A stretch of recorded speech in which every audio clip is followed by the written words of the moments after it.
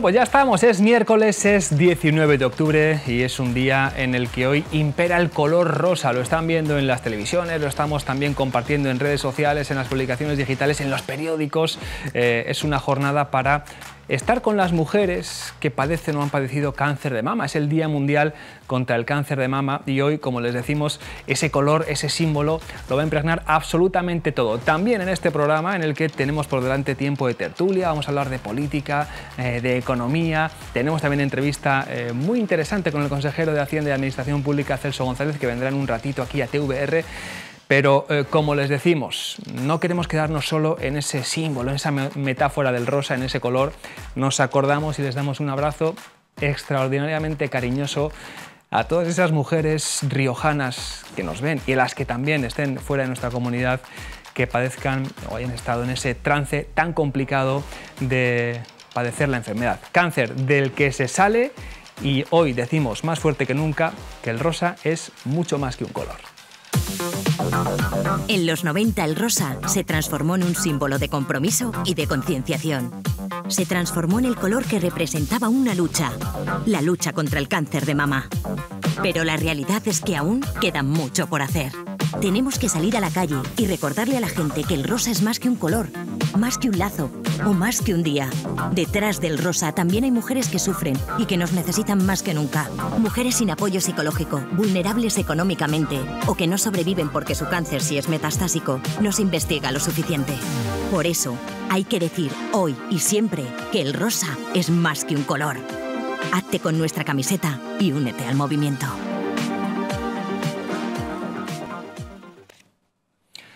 Pues lo dicho, ya estamos con la tertulia en este miércoles, también con esa eh, idea y esa sensación seguro general de nuestros compañeros hoy de coloquio. Adolfo Alonso de Leonardo Conde, bienvenido. Buenos días, gracias. ¿Todo bien? Bien, ya afortunadamente hemos superado los percances que precisamente sufrí. ¿No te importa contarlo? Luego lo contamos. No, no, lo contamos antes. Sí, luego lo contamos. peculiar, sí.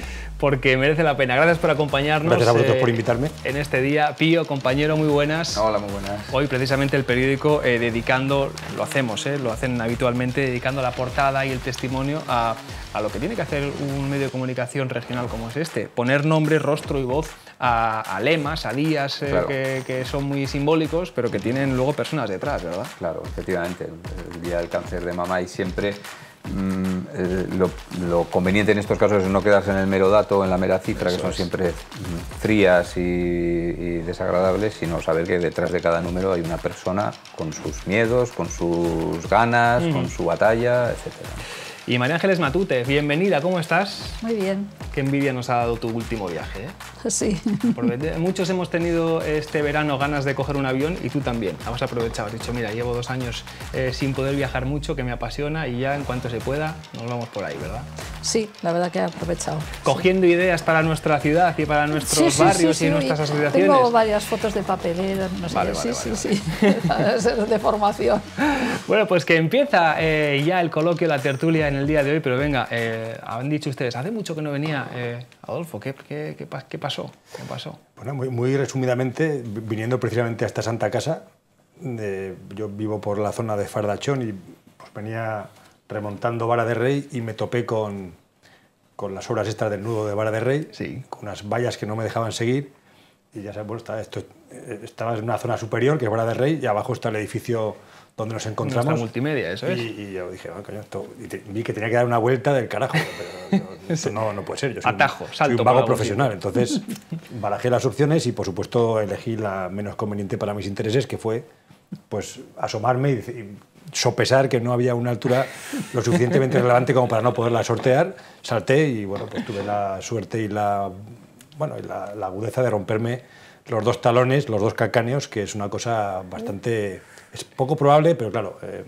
yo intento contar esta historia pues añadiéndole algún tipo de toque épico, pero no, en forma humana. Fue una cosa bochornosa. más allá de bochornosa, idiocia pura, entonces, bueno, no. Y he estado fuera de combate una buena temporada. te hemos visto, ¿eh? te hemos visto por ahí acompañado de buenos amigos, también con que te han llevado en la silla. la silla de ruedas, claro, porque al romperme los dos talones no podía apoyar ninguno de los dos pies y bueno, era... pero no te ha impedido pasar un buen verano, ¿eh? de viajes, de comidas, de encuentros y de festivales. No, no, no, yo, o sea, yo hasta con la silla de ruedas he intentado no, no, poner el freno a mi vida normal, normal dentro de lo que te permite Logroño, que por cierto es un tema que hasta que no estás en ello no te das cuenta lo inaccesible que son las ciudades para quienes tienen que ir en, silla de ruedas. Está bien, esa cuando no, cuando no cuando no, tienes la necesidad no te das cuenta, ¿no? Pero mm. pues me tocó ir al centro en varias ocasiones con la silla de ruedas y, es, es, una odisea. es una odisea. Luego vamos a hablar de las obras de Logroño, de la situación de la ciudad, eh, pero antes eh, nos apetece meternos con uno de los temas polémicos de la actualidad. Lo, ha escrito Pío el fin de semana, lo, escribió con mucho acierto, como casi siempre, eh, esa polémica reclamación de, de la UGT. Es un asunto eh, yo no sé si se habla de la renovación del Poder Judicial en el metro, eh, pero, pero de estas cosas en los bares y en los trabajos y los compañeros y los amigos sí que hablan de que los funcionarios puedan tener una jornada de 32 horas y trabajar cuatro días a la semana. Pío, ¿cómo ves la reclamación, la propuesta de UGT y las reacciones que está habiendo también en torno a, a esa idea? yo creo que, por decirlo de una manera llana, la UGT se ha pasado de frenada y creo que se han equivocado y que los propios afiliados del UGT, muchos de ellos, como el caso del alcalde de Nájera, ¿no? Eh, Jonas Solarte, que es del PSOE y era de la UGT, eh, han reaccionado em, tomándoselo casi como un insulto. Eh, la jornada de cuatro días es una reivindicación que está latente, que está en estudio, que hay países europeos que la están valorando. Bueno, yo, eso puede ser un debate interesante. Lo que yo tengo claro es que es absurdo que solo se conceda, digamos, a los funcionarios, porque tienen un patrón mucho más débil que son los poderes públicos, ¿no? los políticos. Eh, yo lo que creo es que una medida de ese calibre o se plantea para todos o no se plantea para nadie todavía, porque lo contrario es abrir una brecha que ya empieza a ser muy destacada, pero todavía más profunda, entre la gente que se dedica a la administración pública y la gente que se dedica a la empresa privada, al sector privado, como queramos. Entonces yo me imagino que habrá muchos trabajadores mileuristas o que no encuentran trabajo o que les sale trabajo de, eh, mm, digamos por pocas horas que esta reivindicación del UGT dirá, bueno, pero ¿por qué? Es lo que decía el alcalde de Nájera. Nos estamos dedicando a proteger a los que ya están sobradamente protegidos y eso da una sensación de que abandonamos a la intemperie a todos los demás. A mí ese, esa desigualdad me parece potencialmente muy corrosiva para un Estado. Hay que eh, enmarcar ¿no? la valentía del alcalde de Nájera que ha dicho lo que mucha gente eh, piensa y no, es capaz, por estar en instituciones o organizaciones eh, eh, similares, eh, no, es capaz de manifestar. Vamos a recordar lo que decía el secretario general de la Pepe Álvarez, precisamente aquí en La Rioja, y ahora escuchamos también a María Ángeles y a Adolfo, porque el asunto tiene su miga, su polémica. Hablaba de la jornada laboral, pero también, ojo, de que los empleados públicos están muy mal pagados en comparación con la empresa privada. Para nosotros es fundamental avanzar hacia la jornada laboral de 32 horas semanales. Es lo que se está debatiendo en estos momentos en el conjunto de los países de la Unión Europea. Es lo que están debatiendo los grupos parlamentarios en el seno, en el seno del Parlamento Europeo, entre ellos el, Grupo eh, Socialista. Y ese es el, el camino eh, que lleva a nuestra organización a plantear de manera clara y nítida la necesidad de avanzar hacia la semana de eh, las 32 horas semanales o hacia eh, la semana de los cuatro días eh, de trabajo. Los empleados públicos en nuestro país son de una cualificación media alta y en ese sentido cualquier comparación que se haga con el sector privado, privado los empleados públicos cobran menos que los empleados privados. Ahí está, eh, María Ángeles, son extractos eh, de, una rueda de prensa más larga y con más matices y con eh, más contexto, pero, pero ahí está. Bueno, mm, segundo la opinión de Pío, pero vamos, me parece una discriminación, sobre todo en estos momentos, que los funcionarios están mucho más protegidos que la, que la clase trabajadora normal. De hecho, hace unos años la gente mm, mejor no se iba al sector público, se iba al sector privado, pero ahora ya no es tan así. Es decir, esto hace muchos años, el discutir que estaban mejor pagados los, o sea, peor pagados los funcionarios tendría sentido, pero ahora ninguno, me parece. Y tal como están las cosas, que encima a esto le añadimos que los que van a pagar eh, a esos funcionarios públicos son la gente con sus impuestos, pues no te quiero ni contar. O sea, mm, yo creo que si hacen una medida así, dudo muy mucho que no acabe en el tribunal por, por desigualdad, realmente. Es, polémica ¿eh? la, reclamación y de hecho eh, no ha conseguido sumar muchos apoyos de otras centrales sindicales. Adolfo. Yo a riesgo de tener que dormir esta noche en el sofá, dado que mi mujer tiene la condición de funcionaria público. Bueno, claro, y todos tenemos familiares, ¿eh? Aquí en La Rioja es tan pequeñita que todos tenemos buenos amigos o familiares directos cercanos que son empleados públicos. Yo no puedo más que suscribir igualmente lo que ha dicho Pío. Eh, es que además creo que no es ni estético en el momento en el que estamos, ¿no? En un, en un momento en el que, quizás sea un debate que haya que plantearse, no mm. digo que no, yo creo que nos equivocamos porque al final eh, estamos generando la, la idea de que de que, pues que las cosas se consiguen trabajando menos, cuando realmente yo creo que lo que hay que hacer es trabajar más eh, y mejor. Pero bueno, es un debate que habrá que tener, pero yo creo que no es el momento ahora, ¿no? es un momento con el que está cayendo. ¿no?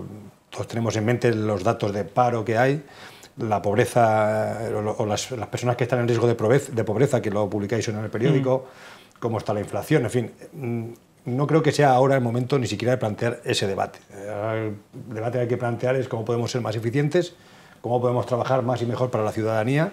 Y todo lo demás pues me parece pues eso, como, como bien ha dicho Pío, una, una pasada de frenada. Y, en este sentido pues alabo muy mucho en estos tiempos también que corren la coherencia del alcalde de Nájera eh, de, bueno, de, de, haber tomado la decisión que ha tomado y ser coherente con lo que piensa.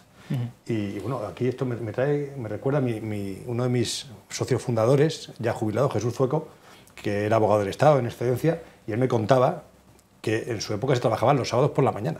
O sea, que los funcionarios trabajaban los sábados por la mañana.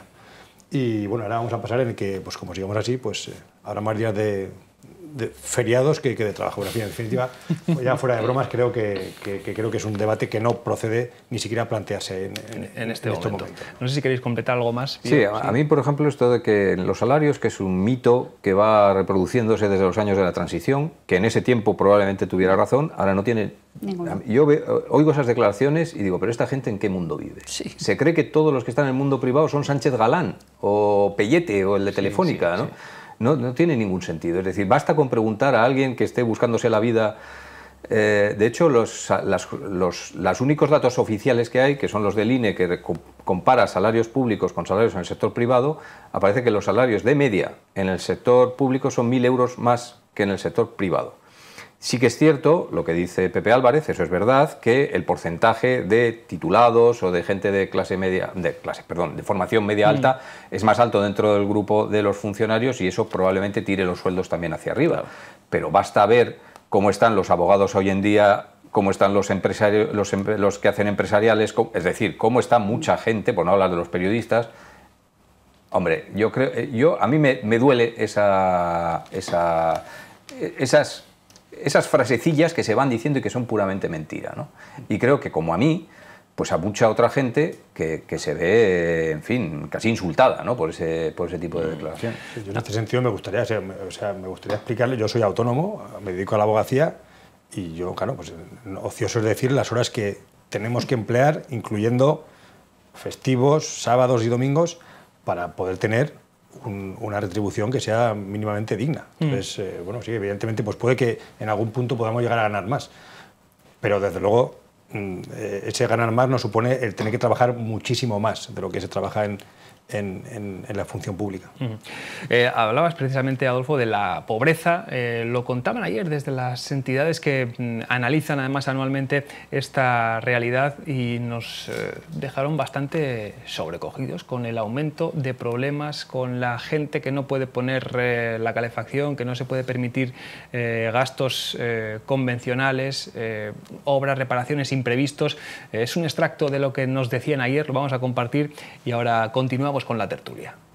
El empleo es básico y luego eh, las ayudas a vivienda, eh, electricidad y alimentación yo creo que son los ítems que más, que más pues por ejemplo, el de pasar del 6 al 9 en el tema de electricidad, eh, ahí nos da un dato de que hay dificultades de, para que la gente tenga calor en su casa, ¿no? O, el poder comer cada dos días carne y pescado, que pase del 0,2 al 3, es un dato que vemos que es importante, Que estamos cada vez pasando peor, peores finales de mes eh, para mm, cada vez más personas.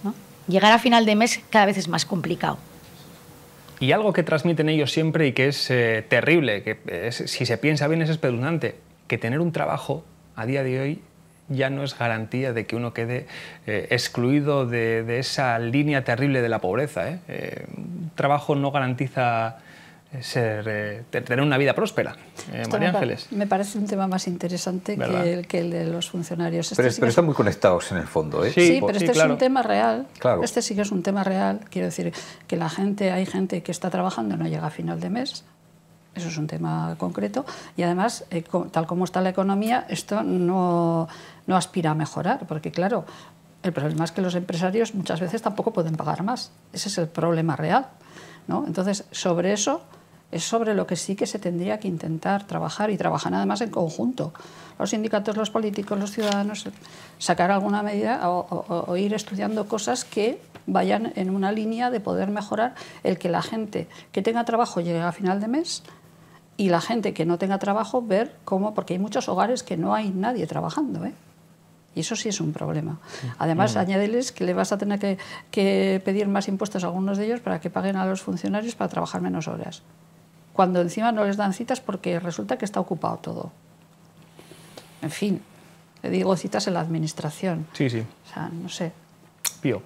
Sí, por eso decía que, venía todo conectado, es decir, que, al final, si, si, las declaraciones de la OGT nos han parecido tan escandalosas, es porque debajo está esto.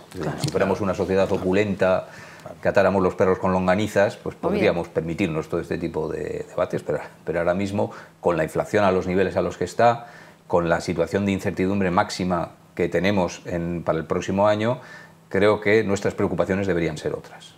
Totalmente. No vimos que tienes una ratio de paro de prácticamente el 15%. Estamos en, la cúspide de, los países europeos. Creo que estamos hasta por encima de Grecia, si me apuras.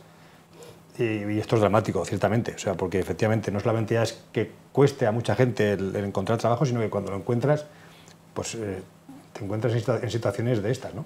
Y esto me, esto me hace, porque hoy estoy especialmente reñidor y ahora pues me, me, voy a tocar enfrentarme con mi amado suegro, ¿verdad? Que es un tema que también que, que, creo que se acabará suscitando, porque a mí se me está suscitando estos días. Eh, yo veo que hay noticias de comunidades de vecinos que han acordado no encender las calefacciones porque no pueden pagar, lo cual me parece de una gravedad absoluta. Y por otro lado, veo con estupor eh, que, lo digo porque me está tocando de cerca, que pues por ejemplo aquí en Logroño tenemos una pista de hielo que me imagino que será un, consumo de, electricidad brutal. Tenemos piscinas cubiertas, climatizadas en prácticamente todas las cabeceras de comarca y las que no son cabeceras de comarca. Y nadie se plantea que en una situación de emergencia nacional, porque para mí es una, situación de emergencia nacional como es esta, tendríamos que replantearnos muchas de las cosas que hasta ahora nos han parecido normales, como por ejemplo, pues eso, que si nos apetece podamos ir a un spa público para nuestro solaz. ¿no? Entonces, eh, ¿Y, qué hacemos? Eh, ¿Cerramos todo eso? ¿No ponemos luces de Navidad? Eh, no apagamos las...? No, lo sé, lo sé. Yo, yo en esto soy, voy, a, voy a contracorriente, voy a contracorriente. Yo es que por, por, mi trabajo estoy viendo en estas últimas fechas lo que cuesta mantener que una piscina cubierta esté adecuadamente climatizada en términos de consumo de gas y por tanto en términos económicos. Reconozco que hay, de euros. hablamos de cientos de miles de euros. Hablamos de cientos de miles de euros. Hablo de municipios como Arnedo, como Nájera, como Lardero y por supuesto como Logroño. Mm. Em, también asumo que el, nadar es un deporte sano y que mucha gente lo tiene recomendado incluso de forma terapéutica. Pero yo entiendo que eso es el, eh, sin conocer los datos, que esos serán los menores de los casos. ¿no? Entonces, eh, yo creo que el permitirnos el lujo de mantener abiertas ese tipo de instalaciones con los consumos que supone, cuando hay gente que no puede mantener su casa caliente, me parece de una incoherencia brutal. Por ejemplo, o sea, que en nuestra casa nos olvidan a tener la calefacción a 19 grados, por ejemplo.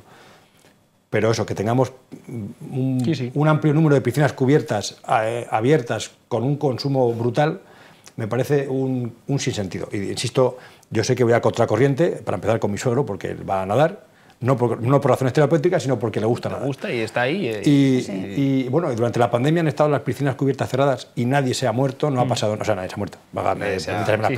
no ha pasado nada, no se ha hundido el mundo. Sí, ha pasado, eh, sí. bueno, igual, igual por eso que no tengo toda la información, ¿no? Pero entiendo que la gente puede dejar de ir a nadar cuando en estas circunstancias lo que habría que hacer es eh, para mi juicio, suspender ese tipo de instalaciones y destinar los recursos que destinan las administraciones para mantener abiertas estas piscinas a este tipo de problemas que creo que son mucho más graves. Lo planteas como una cuestión de ocio. Si fuera una cuestión meramente de ocio, pues bueno, sería discutible, ¿no? Podríamos planteárnoslo. O sea, yo entraría en esa discusión.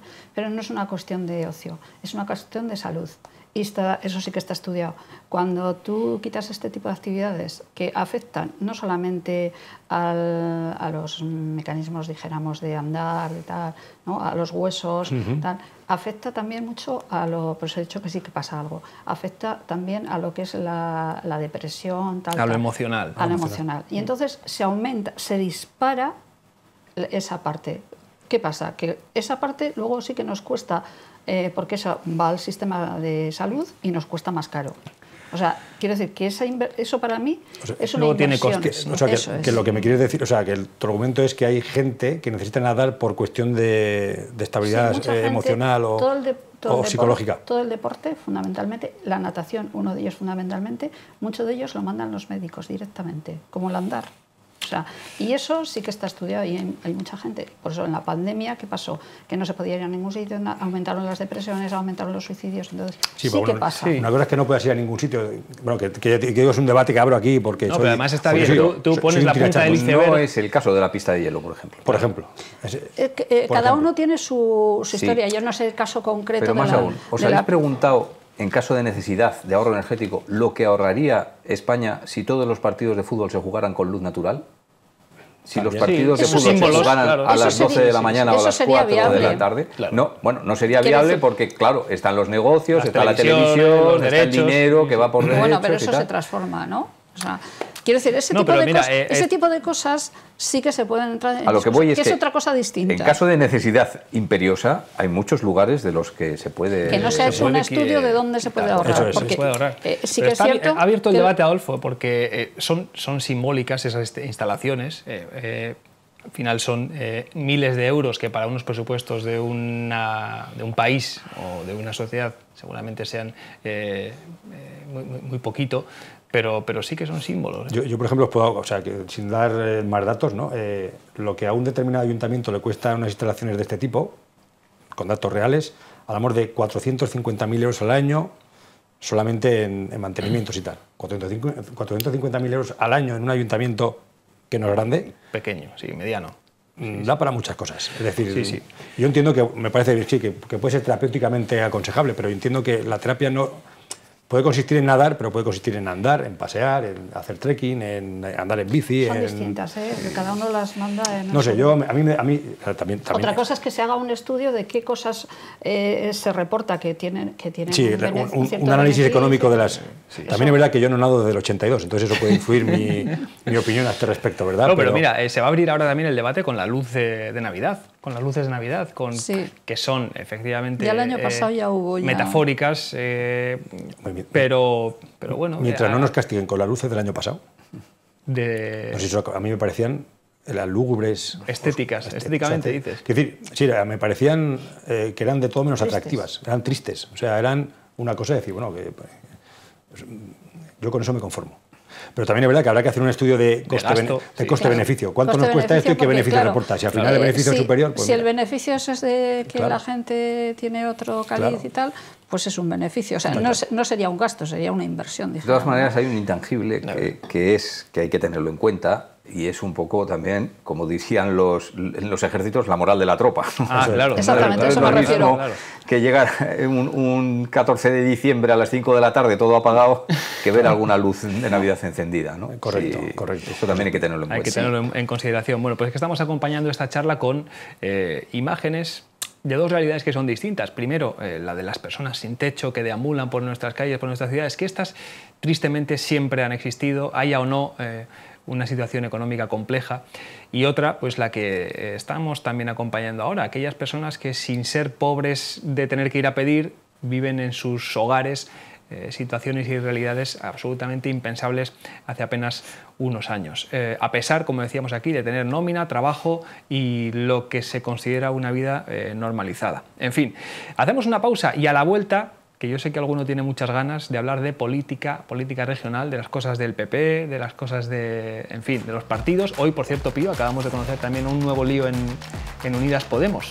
Sí, bueno, en Podemos. En, en Podemos, este caso, ¿no? sí. Sí. Que la, la, al parecer la coordinadora regional de Podemos, Arancha Carrero, que era un poco la favorita, digamos, para, para presentarse, ya veríamos en qué, luego en qué conglomerado a las elecciones, no ha conseguido los, Los avales, necesarios sí, o suficientes para ser la candidata de su partido. ¿Cómo está el patio? Amigos, amigas, ahora regresamos, abrimos ese bloque político que está también muy interesante hasta ahora.